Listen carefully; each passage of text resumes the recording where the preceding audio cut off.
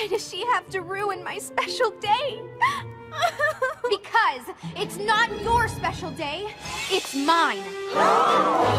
This is getting out of hand. Now there are two of them.